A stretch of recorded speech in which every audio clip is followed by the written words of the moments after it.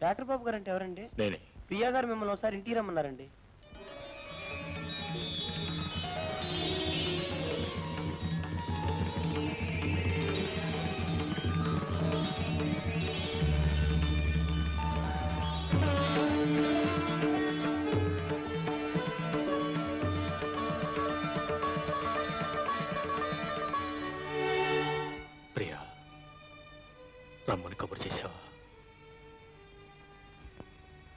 నువ్వు కబురు చేస్తావని నేను అనుకోలేదు.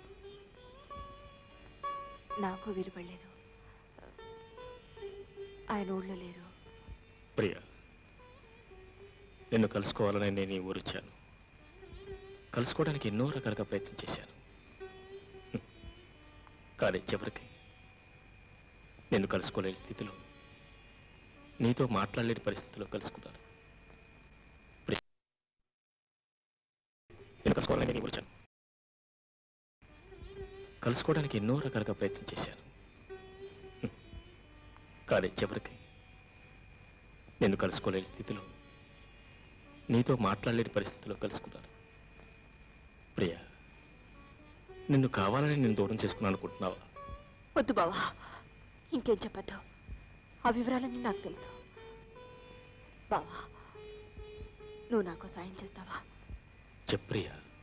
చేస్తానంటే చెప్తాను. చేస్తాను చెప్పు ప్రియా. నువ్వు ఇంకెప్పుడు నాకు కనిపించద్దు. ప్రియా నేను ఎక్కడుంటే నీ సంసారం చెడిపోతుందన్నా నీ మనసు నలిగిపోతుందన్నా నేను వెళ్ళిపోతాను. కానీ ఒక్క నిజం మాత్రం చెప్పు. పెళ్ళైన దగ్గర నుంచి ఇప్పటి వరకు ఇద్దరు కలిసి కూర్చుని పది నిమిషాలనే మాట్లాడుకోగలిగారా?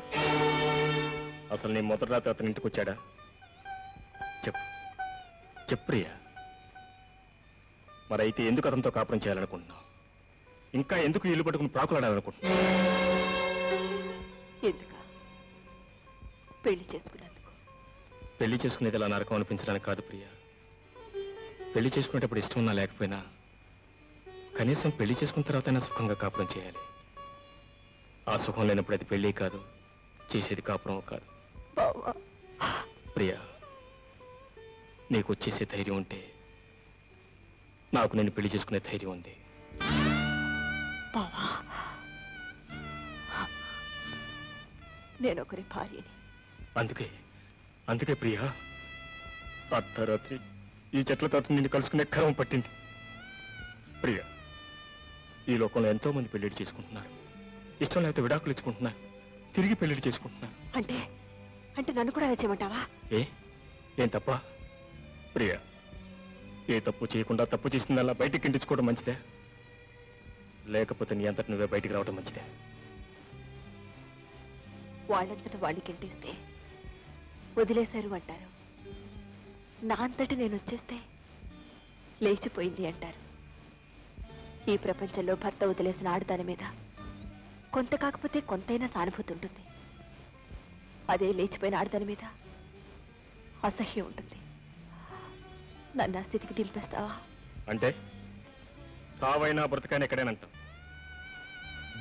అతని పాదాల దగ్గరే నీ బ్రతకంటాం అతను హేసించినా నేను సరిగ్గా చూసినా చూడకపోయినా అతనితోనే కాపురం చేస్తానంట అతనే నీ భర్త అతనే నీ దైవం ఈ ఇల్లే నీకు స్వర్గం అంతేగా?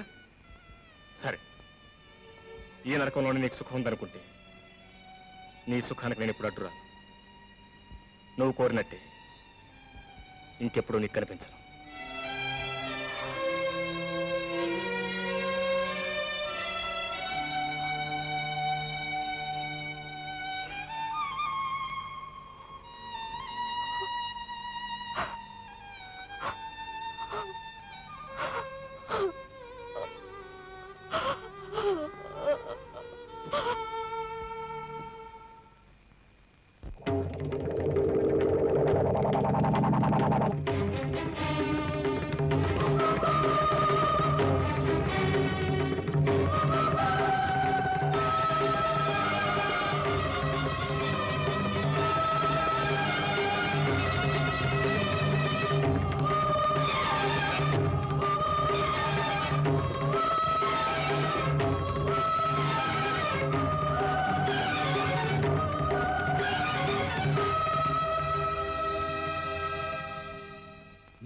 వెళ్ళలేదు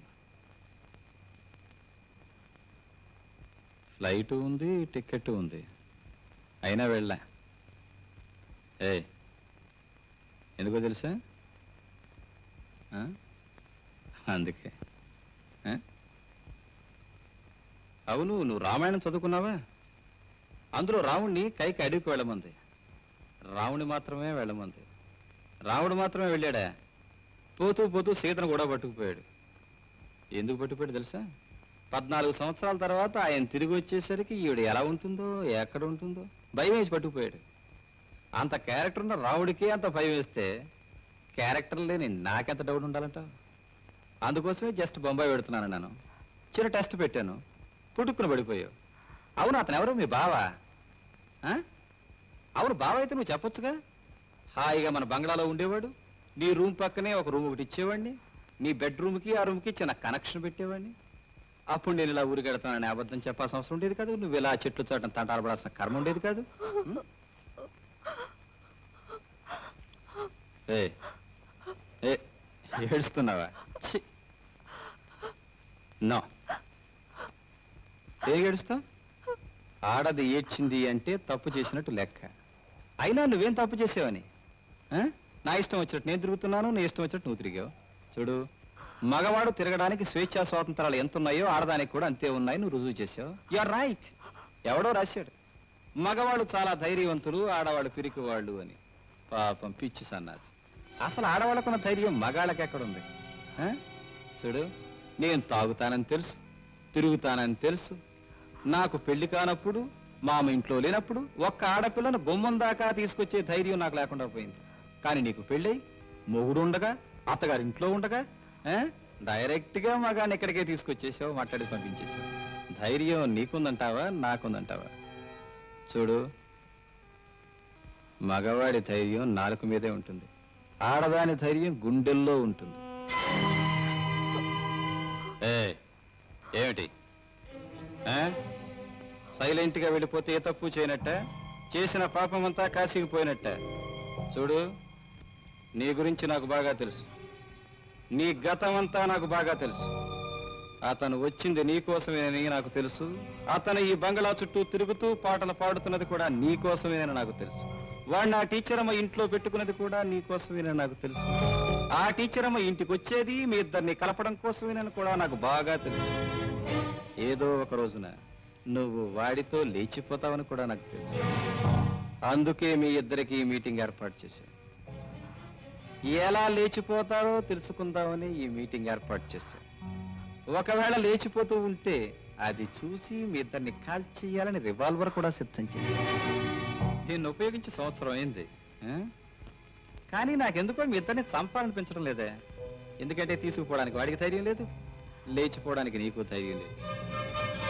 అలా అని మీ ఇద్దరిని ఏమి చేయకుండా వదిలేస్తానని కూడా అనుకోవద్దు. నాకు తాగితే తప్ప ఏ ఆలోచన రాదు. ఆలోచన రావాలంటే తాగాలి. అందుకని ఇప్పటి నుంచి మొదలు పెడతాను. తాగడం తెల్లవారే వరకు తాగుతాను. తాగిన తర్వాత ఆలోచిస్తాను ఏం చెయ్యాలనేది ఎలా చెయ్యాలనేది.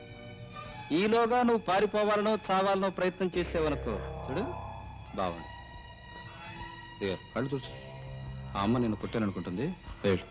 బొంచేలేదుగా బొంచే ఉదయం దాకా టైం ఉంది కదా. ఆ తర్వాత కదా మీ ఇద్దరిని ఏం చేయాలనేది. డోంట్ వరీ వెళ్ళు. వెళ్ళు.